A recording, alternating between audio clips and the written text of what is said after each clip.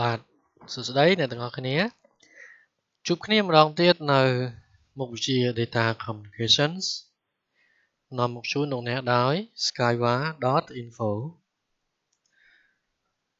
អូខេអឺថ្ងៃនេះលោកគ្រូនឹងយកមេរៀនទី3យកមកបង្រៀន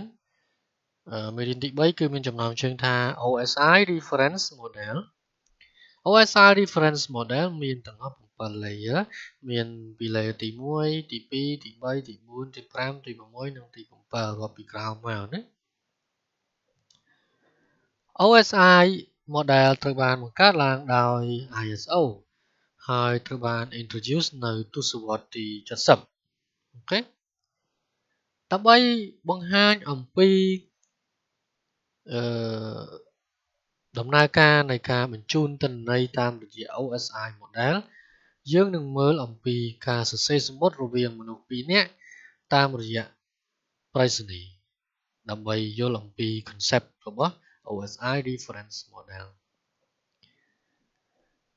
មនុស្សពីរនាក់គឺមនុស្សម្នាក់ជាអ្នក send សំបុត្រនិងមនុស្សទៀតជាអ្នកទទួលសំបុត្រណាអ្នកផ្ញើសំបុត្រនិងអ្នកទទួលសំបុត្រអ្នកផ្ញើសំបុត្រគាត់ចាប់ដើមសរសេរសំបុត្រវាហើយដាក់វាបញ្ចូលទៅក្នុង អឺ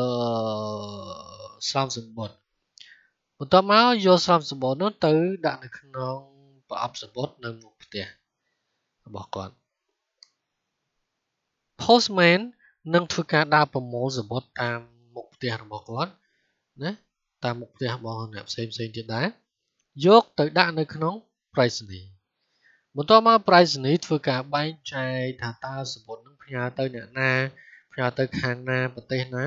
គឺបែងចែកទៅតាមទិសដៅផ្សេងផ្សេងពីគ្នារហូតប្រៃសណីធ្វើការបញ្ជូនសម្បត្តិនោះទៅកាន់ប្រៃសណីនៅប្រទេសមួយទៀតឧទាហរណ៍ប្រទេសអូស្ត្រាលីជាដើមអូខេបន្ទាប់មកនៅខាងប្រៃសណីប្រទេសមួយទៀតនោះទទួលសម្បត្តិមកហើយមើលថាតើសម្បត្តិនោះត្រូវផ្ញើទៅអ្នកណាអញ្ចឹងប្រៃសណីចាត់បញ្ជូន postman ឲ្យយកសំបុត្រនឹងទៅដាក់នៅក្នុង mailbox ទៅតាមអាស័យដ្ឋាននឹង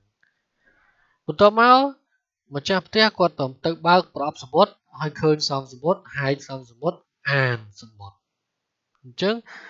នេះជា concept ដែលអ្នកសរសេរសមុទ្រគាត់ចាប់ដើមសរសេររហូតដល់អ្នកទទួលសមុទ្រគាត់បានអានសមុទ្រក៏ដូចគ្នាជាមួយនឹង OSI model មាន7 layer គឺចាប់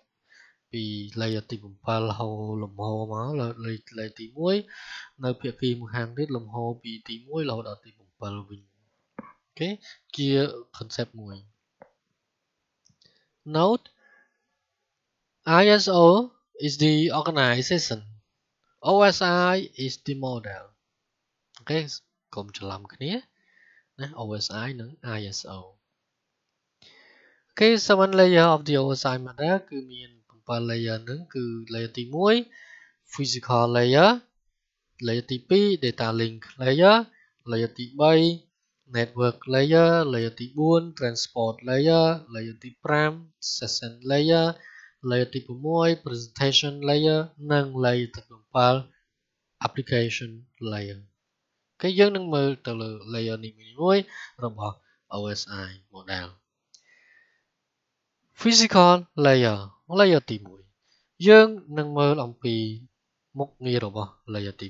1 physical characteristic characteristic of the interface and medium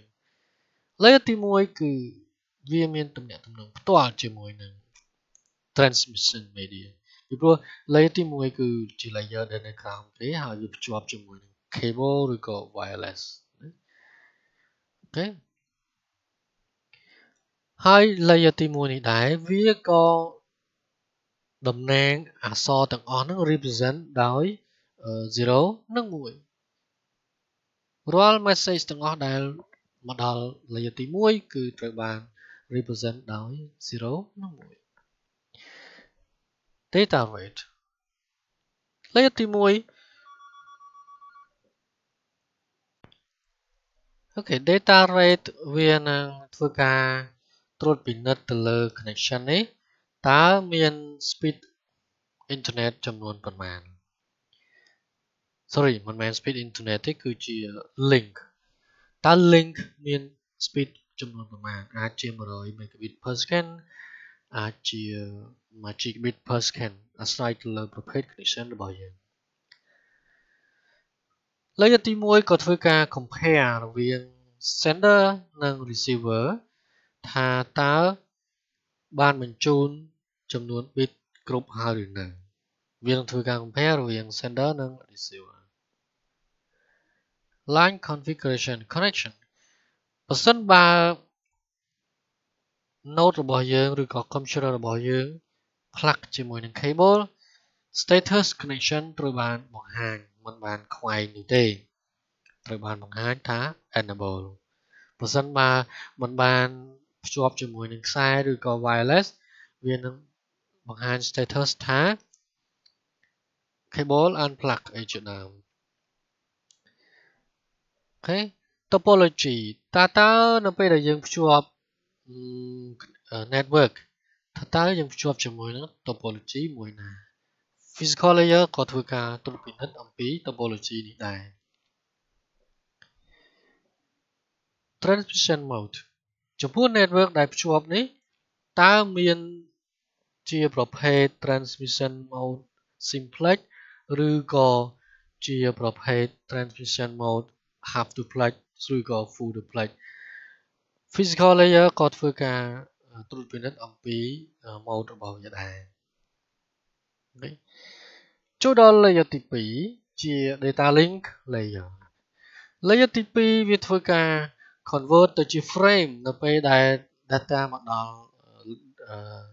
layer ទី2ស្អីគេទៅ frame frame គឺជាបំណែកតូចៗនៃ data ទាំងមូលហើយវាក៏ធ្វើការ note អំពី source MAC address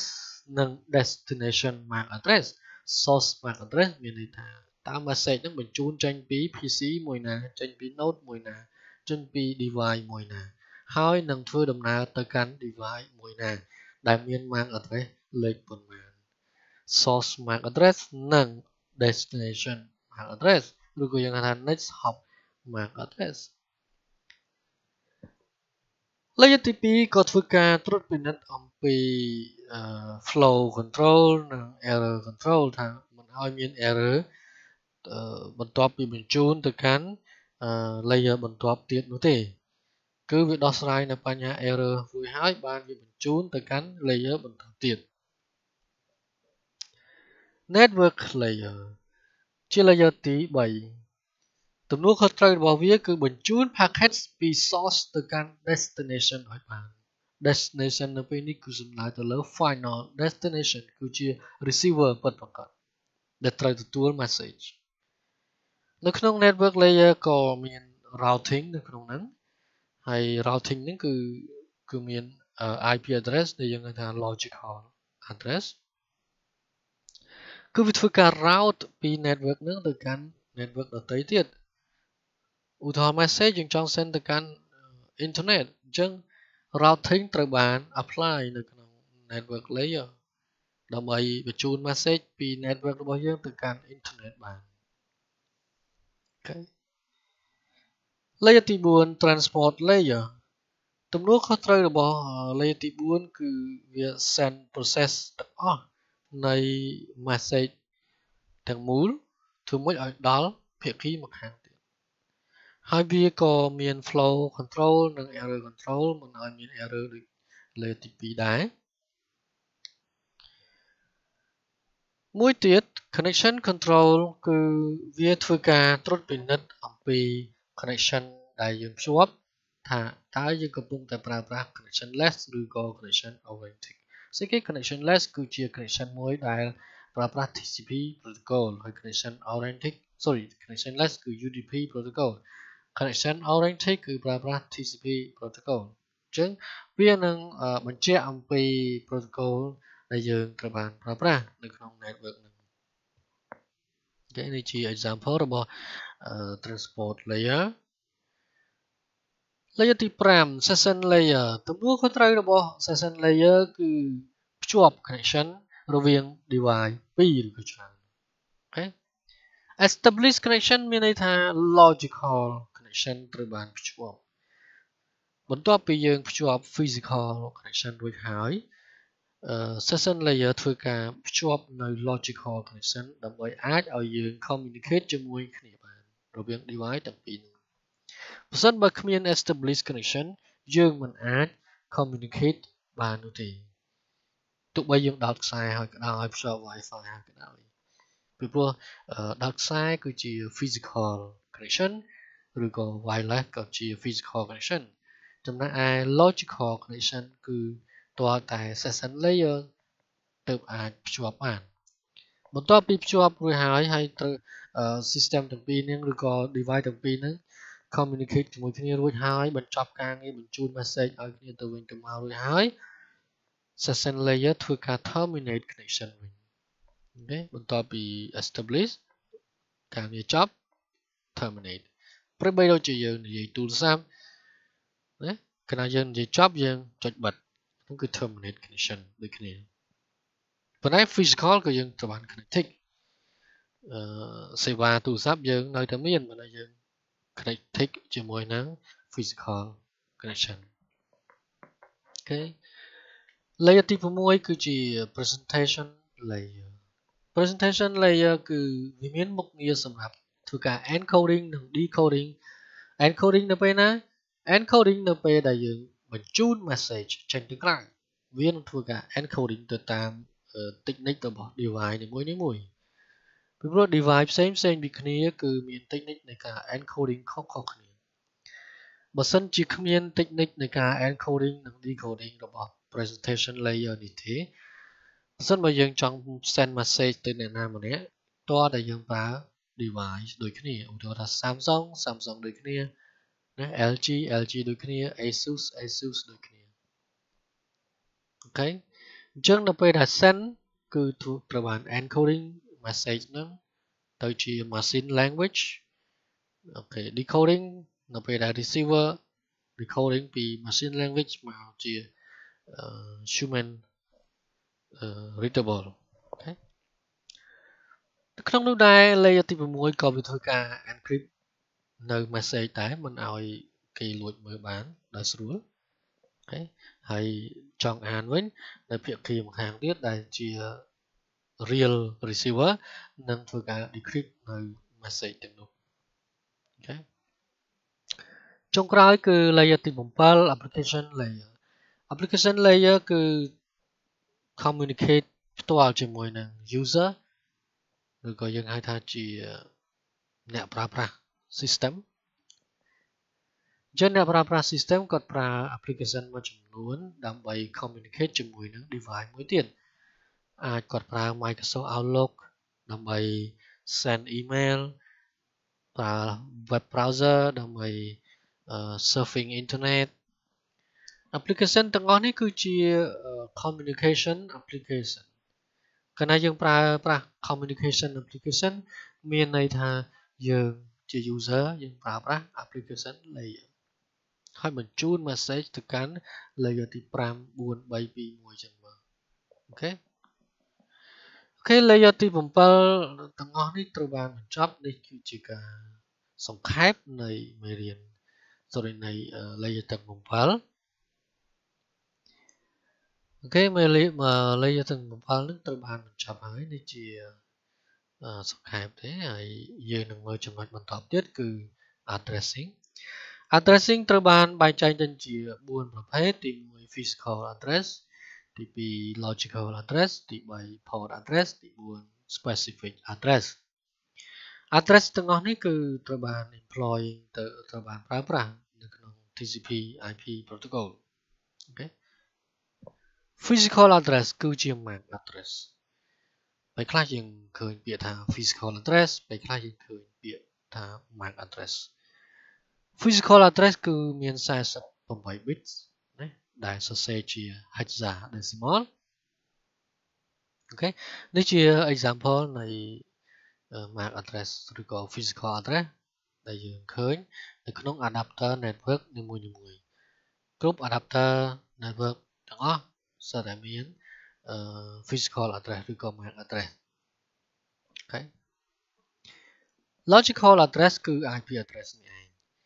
IP address មាន IP version 4 IP version 6 សម្រាប់ IP version 4មាន 32 bit IP version 6មាន 128 bit អូខេនេះជា example របស់ IP version 4អូខេ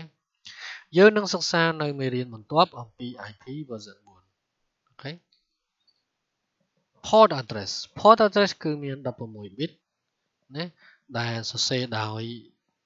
លេខ decimal ឧទាហរណ៍753គឺជា port address ដែលអឺជាលេខមួយដែលយើងអាចប្រើប្រាស់ជាមួយនឹង protocol ណាមួយដើម្បី communicate រវាង node device មួយនិង device មួយឧទាហរណ៍ send email តាមរយៈ port លេខ25 110 send receive អីចឹងជាដើមតាមរយៈ protocol ផ្សេងផ្សេងអូខេ port 80 port 80 80អីហ្នឹងដើម្បី communicate តាមរយៈ web browser special address ជាទូទៅយើងជាមនុស្សយើងពិបាកក្នុងការចាំលេខលេខច្រើនពេកក៏ពិបាកចាំដែរកំប្រែទៅសេជាឈ្មោះអញ្ចេះស្រួលចាំទៅវិញណាឧទាហរណ៍ Google Yahoo អ្នកណាក៏ស្គាល់ប៉ុន្តែ Google Yahoo គឺជា address មួយដែលតំណាងឲ្យលេខ IP មួយឬច្រើនប្រែកយើងចាំតែ special address ហ្នឹង Google Google ទៅ គឺយើងអាច access ទៅ page របស់ Google បានទេអូខេព័ត៌មានដាំ7នេះក៏អញ្ចឹងចុះ127.0.0អានោះគឺជា loopback address យើងមិនអាចយកលេខហ្នឹងទៅប្រើប្រាស់ជាមួយនឹង network បានទេយើងមិនអាច assign IP លេខ127ខ្ទង់ទី1នេះទៅក្នុង network បាននោះទេវាព្រោះវាជា loopback address ដែលយើងចាត់ទុកថាវាជា special address ដែរ